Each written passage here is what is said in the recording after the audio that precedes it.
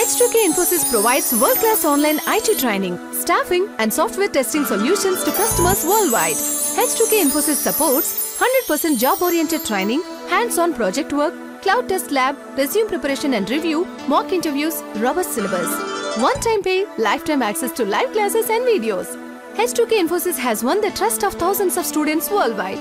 For free demo class, visit h2kinfosys.com.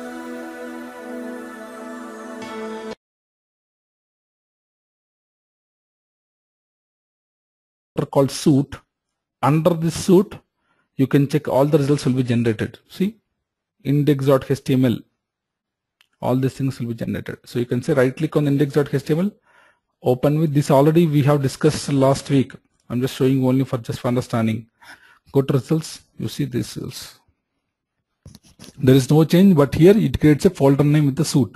But index.html, emailable report.html, both are explained last week. Check the videos, last week videos. Okay, this is just for understanding I'm saying because we have to get into the actual topic of it. We didn't start till now. Okay, fine now.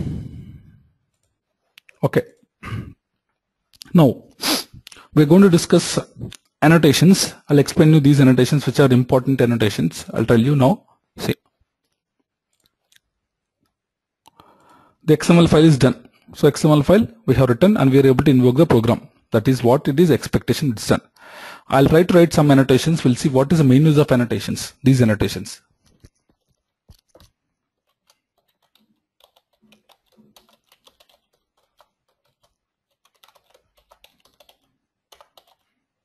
So how many annotations I have written now? Before method, after method. Okay. Uh, Fine, definitely we'll go there. We'll get into the topic, okay? Because there are advanced topics are pending. So these are all basics, okay? Basics we can learn afterwards also. First, let into advanced concepts, okay? So before method, after method. There are two annotations called before method, after method, okay? So what is the main objective of before method and after method, right? Suppose for example, listen carefully, the concept listen, then I'll explain what is the main use of these two annotations, okay? So suppose for example, there is, there are, there are so many test cases you will write. Suppose for example, you want to do a search. You go to a ebay.in, you want to do a search. Search is one test case for you, right? Search is one test case for you, right? So when I write uh, search is one test case, uh, basically what you do, basically every test case, every search test case, if you want to execute the precondition is what you have to log in.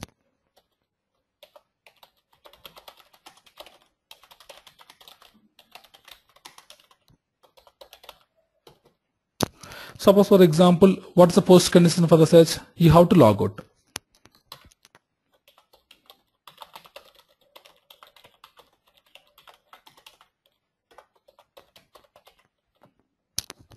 Okay, you have to log out. So the precondition and post condition are same for all the test cases. For for search, the precondition is login and post condition is logout. Similarly, there are so many test cases you have written, but for every test case, you have to log in, do the functionality, log out. Are you getting what I'm saying? So every time you have to do some functionality. Before I go and execute a test case, I have to execute some precondition. After executing the test case, I have to do some post condition. So where should I write those methods? So if you want to execute some functionality for every test case, I should write that function under the before method. So what happens when I write before method? So how do I write this now? See.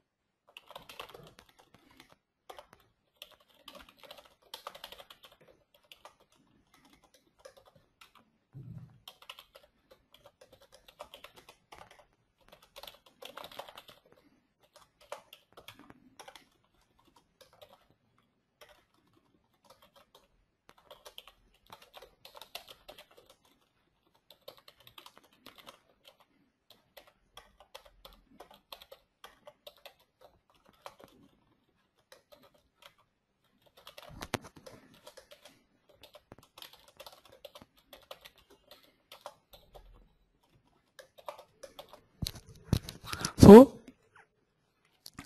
write before method, so what happens before you execute at the rate test method, this will be executed, this will be means this will be executed, then this will be executed, then this will be executed. So what is the order? Tell me now. What is the order now? What is the order of execution now? Login, search, logout. Suppose for example, yeah, I think everybody understands. So now suppose for example,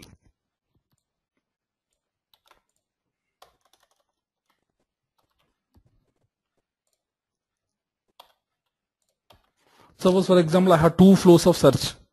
Search one, search two. Search one will do one flow, search two will do another flow. So in that case, what is the order of execution? That's what I'm telling you. That's that's what we're discussing now. So what happens now? What is the order, correct order? Guess and tell me what's the correct order of execution of these methods. Just now I told you, for every test case, I have a precondition. Every test case independent. No two test cases are same. For every test cases, I want to log in. Suppose I want to log in for search one, I should log in for search two also, right? For suppose for example, search one I log out, I do log out for search two also, right? So what happens? What is the order now? Yes, the order is login, search one, log out, login, search two, log out. So what does it mean? What is the understanding we have to get from this? How many test methods are there? That many times before method will be called, that many times after method will be called. First point. That's the first point. Means how many at the rate test methods are there? Those many times before method will be called, those many times after method is called. And there is no mandatory rule that if you have before method, after method is required. Sometimes you don't require to log out also. Not required. Don't write it. So there is no mandatory. Sometimes you don't want before method also. Don't write. Depends upon your requirement you write before method or after method. But if you write it, how many test methods are there? Those many times before method will be called and how many test methods are those many times after method will be called. That is the concept. Yeah, I'll make a note of it.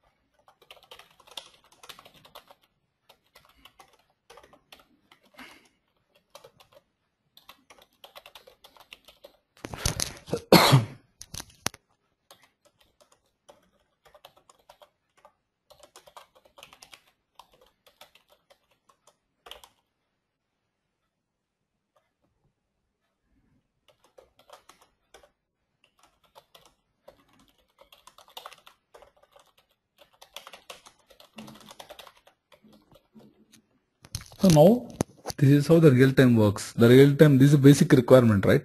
Because every test case has some requirement. So you do this, fine? So real time scenarios, these are real time scenarios. Every test method has precondition, post condition, fine. So we completed how many annotations now? Before method, after two complete, we completed two, fine, done. So we'll see with an program, we'll see with an example. Same thing what I'll do, I'll just copy paste it.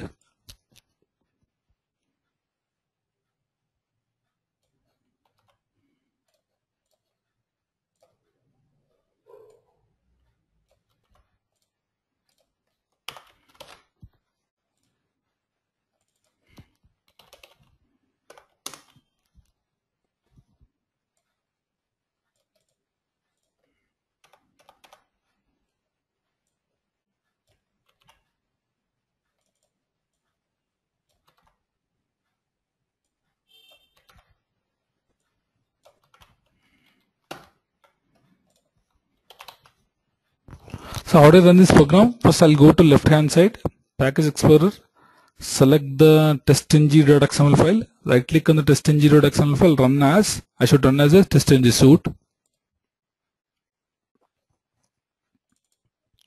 Okay, see the order. I'm in login, search, logout, login, search, logout. Right, basically I should put search 1, search 2 for understanding. I'll just add it. Anyway, both are same, just for understanding.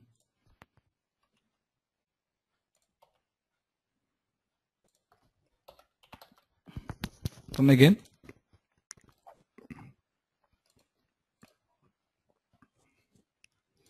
Right, see now, login, search 1, log out, login, search 2, log out. And, you- and you see here, search 1, search 2 both are in the alphabetical order. Search 1 comes first, search 2 comes second. That is the logic here follow because we didn't give any priority here. We didn't put any depends on methods here. It will execute in alphabetical order if you don't mention anything. That's a concept here. This is as usual. There is no change for us.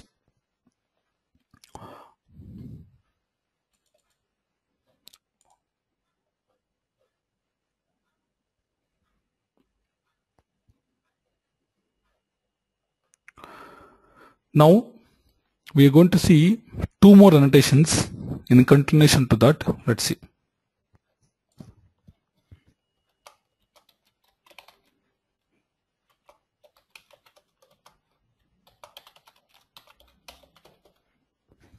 See what are the annotations here? We are seeing now before class, after class. See if you understand before method, after method, this is so easy.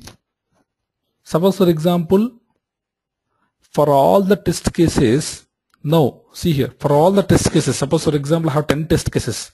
For all the test cases, right, I have to log in only once because once you log in, I can do search, I can do book, I can do cancel, anything I can do it. Only the prerequisite for all the test cases is only one time we should execute that is login. So I just want to log in, then I can do execute all the test cases in order. I can do anything. Okay. And for all the test cases, I want to log out. That's it. I just want to log out only once. I don't want to log out for every test case. So in that scenarios, if you want to do the activity only once for all the test cases, you have to put under before class, say login before class, say logout after class. So login will be executed even if you have 10 test methods, it will execute only once. That's the concept. So the same program I'll write what happens let's see. I'll just write the same program, no change.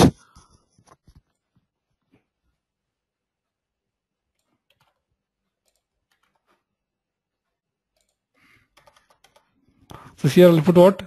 Focus.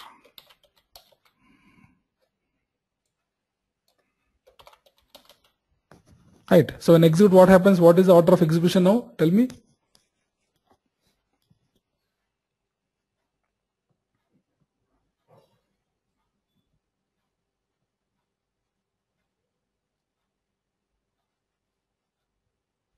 Yes. Login, search one, search two, logout. Right. This is how it works. So we'll check this one also. Yes, we'll check this one also. I'll try to put eBay one. So it's not. Uh,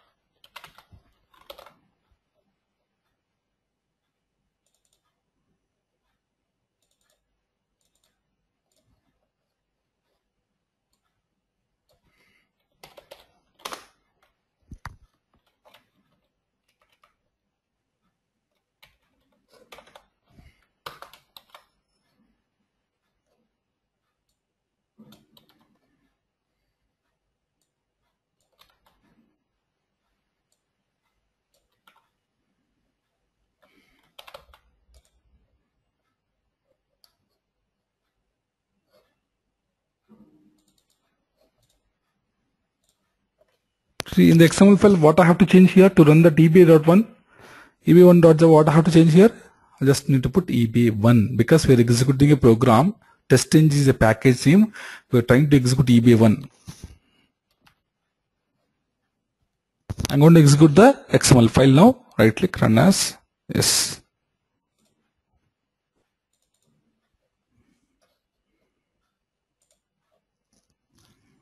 Okay, one second. Small change. One second. One second, one second.